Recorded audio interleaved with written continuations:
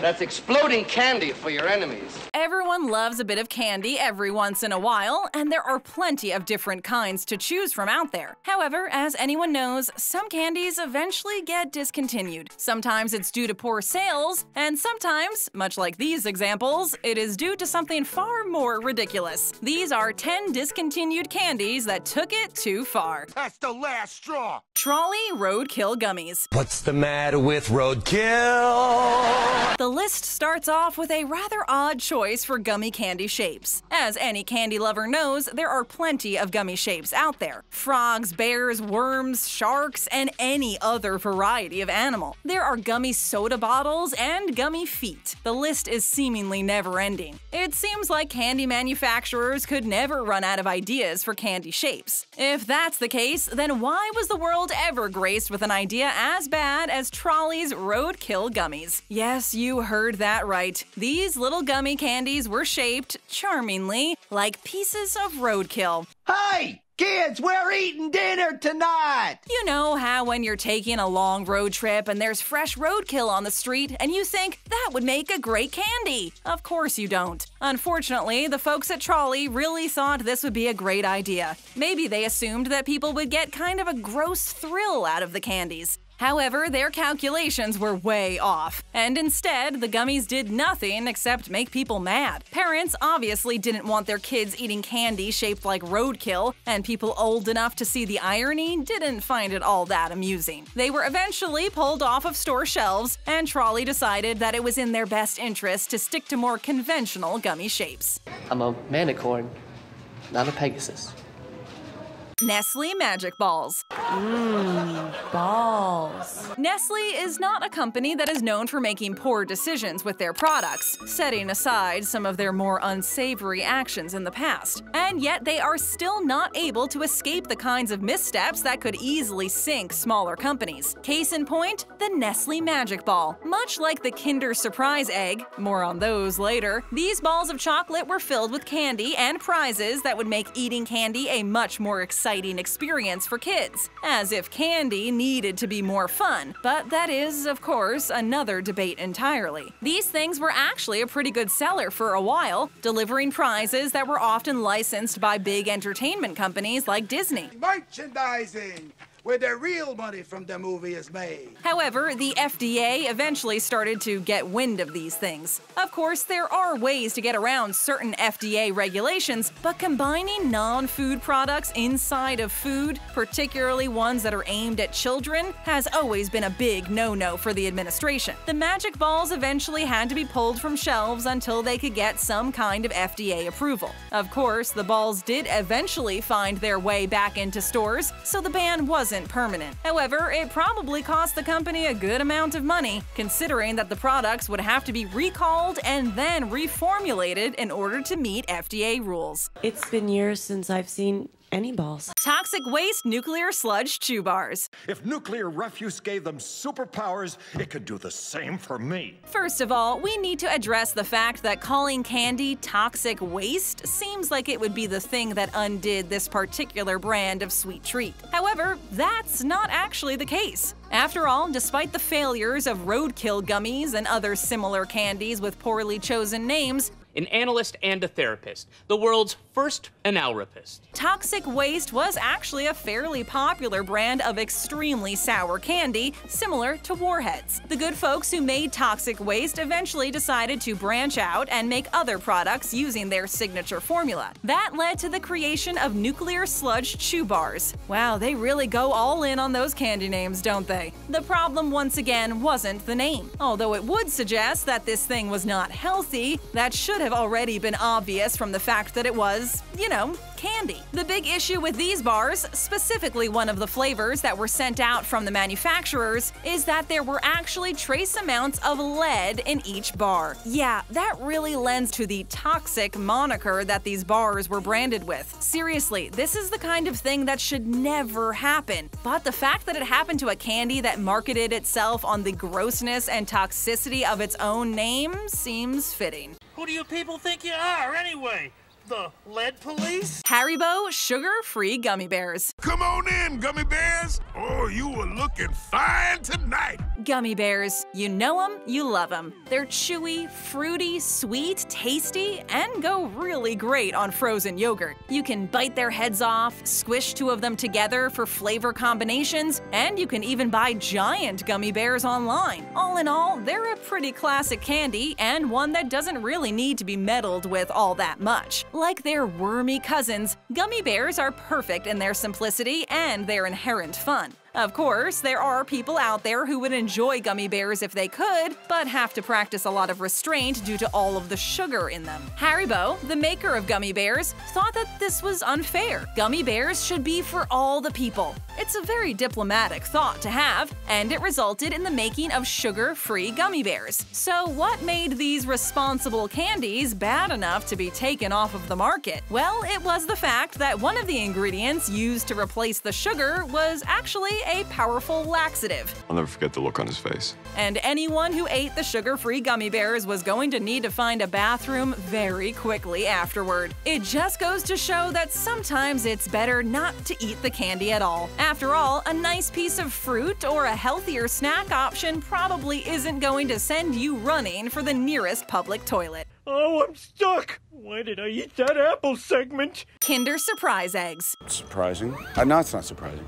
Anyone who is lucky enough to get a Kinder Egg on Christmas or on a birthday knows that they are not only fun, but even the chocolate shell, combined with a layer of cream on the inside, was actually pretty delicious. Waiting inside that chocolate shell, of course, was a fun toy that could be put together and played with. Some people even built up huge collections of these little toys. Once again, though, it was issues with FDA regulations that kept Kinder Eggs from being sold in the United States. The entire regulation, as previously mentioned, had to do with the fact that the chocolate was being combined with non-edible components. Even though the pieces of the toy and the instructions for how to put it together were contained in a tightly sealed container, it still presented the possibility of choking hazards or cross-contamination. People tried to bring the Kinder Eggs into the States, but smuggling them in came with a hefty fine and possible criminal prosecution. Uh, is this a joke? As fun as the toys could be, and as tasty as that Kinder chocolate was, the risk was not worth it. I can't calm down, I'm gonna be indicted! Smarties. Gross. Anyone who has ever gone trick or treating, which let's face it is most people, knows the pain of getting a bag full of Smarties, the unappealing little chalky circles that are mildly fruit flavored. These things are no one's favorite candy, and yet when Halloween rolls around, people love to hand them out. Most likely because a 10 pound bag of them costs next to nothing. Of course, while these things might not be that fun to eat, high school kids found another totally irresponsible and stupid way to enjoy them. In two different school districts, one in Oregon and one in Michigan, the candies had to be banned due to the fact that teens were crushing them up and snorting them. Yeah, it might not be a real discontinuation of the product, but it is incredibly stupid nonetheless. Smoking raisins doesn't really get you high? Leave it to teenagers to find a way to make Smarties even worse. Of course, stores were not banned from selling them, the kids were just banned from bringing them to school. What kind of pleasure could even be derived from doing something this dumb? Apparently, all that happened is that a lot of kids got nosebleeds and some pretty severe sinus problems. Smarties are for dummies. Candy cigarettes. I didn't know they made these. This one probably seems obvious to anyone who grew up with this specific type of candy. For those who might not know, here's a brief history lesson. Smoking used to be far more widespread, and the dangers of it hadn't exactly been ingrained in the public consciousness yet. As a result, lots of people smoked and didn't really see any problems with it. Doctors would even recommend certain brands of cigarettes as being healthier. In short, it was a very strange time. What did you expect? Emphysema, birth defects, cancer, but not this. Because there wasn't as much of a stigma against cigarettes yet, candy manufacturers thought it would be fun to basically make candy sticks that looked like cigarettes. They didn't even try to hide what they were doing. These things were actually marketed as candy cigarettes. Imagine seeing kids bumming candy cigarettes off one another on the playground. Man, that math homework was tough. First addition and subtraction, but now they're throwing multiplication at us? Let me get get one of those I need a fix. Ultimately, people started to realize that selling candy cigarettes to kids might be setting them up to become smokers in the future, and with more and more people becoming aware of the real dangers of smoking, it was an easy call to take them off the market. Of course, they still continued to be sold, but they were just marketed as plain old candy sticks, often with a picture of Popeye on the box. Looks like I picked the wrong week to quit smoking. Lollipipe. Indubitably, my good woman.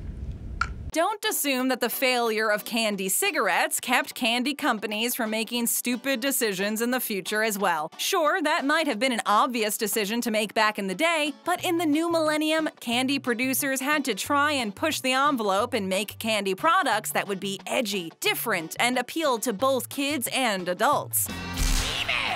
After all, if you can diversify your customer base, then you'll be sitting pretty. Enter the Lollipipe, an incredibly transparent attempt to be both edgy and attract grown-up customers to a candy product. This piece of candy, much in the same vein as the classic candy cigarettes, seemed to send the message that pipes are cool, particularly those that are used to smoke marijuana or other more illicit drugs. That's right, this thing was just a piece of hard candy molded into the shape of a classic glass pipe. How is it that candy executives who make these kinds of decisions make hundreds of thousands of dollars every year? Obviously, this completely ridiculous and ill-considered candy was taken off of the shelves. The funny thing is that due to the fact that it's made of sugar, it wouldn't even work as a normal pipe, and would most likely just end up melting. Way to go, guys! Let's proceed without the pipe.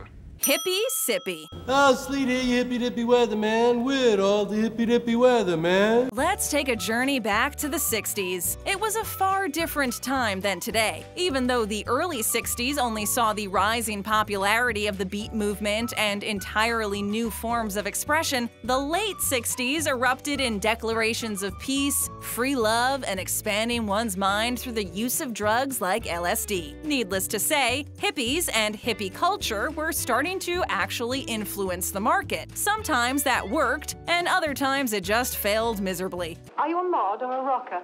Um, no, I'm a mocker. Let's talk about one of those miserable failures. Hippy Sippy was a candy that was marketed to kids who wanted to jump on the hippie bandwagon. Basically, it was a tube of sweet liquid that kids could bite into and sip, hence the name. It wasn't entirely dissimilar from other candies on the market that did the same thing, except for the fact that the Hippy Sippy delivery system happened to be shaped like a heroin needle. Yikes. Yeah, needless to say, the Hippy Sippy did not stay on store shelves very long. It's bad enough to be selling the idea of smoking cigarettes to kids, but selling them the idea of playing with syringes or hanging out and just getting strung out on candy was just a total mistake. There's a reason why these things have mostly faded into obscurity. Probably for the best. What a shrill, pointless decade. Maoam. It's not Meowam, it's Maoam. Finally, we come to a candy infamous not for its ingredients, but for its packaging. Maoam was a fruit-flavored candy sold in England, and it was known for the little green mascot that adorned all of its packaging. While he was pretty adorable, when combined with the personified fruit on the package, he got into some pretty compromising situations. It's fairly obvious that there is some rather unsavory business going on in the images on these candy wrappers. I'm! One father actually brought this to the attention of the media, though it is strange that no other parents or people with children seem to think there was a problem, particularly with the image of the little green mascot having too good of a time with a lemon or a pair of cherries. The company did eventually change the image on their packaging, making it a much more innocuous image of the same mascot riding a skateboard. However, they did keep their relatively suggestive slogan as full on till it's gone, whatever that's supposed to mean. That's the one thing we'll never truly understand. Satisfy that sweet tooth with another BabbleTop video. Just tap that screen. And if you're new to our channel, show us some love. Hit that subscribe button and ring that bell to join our notification squad.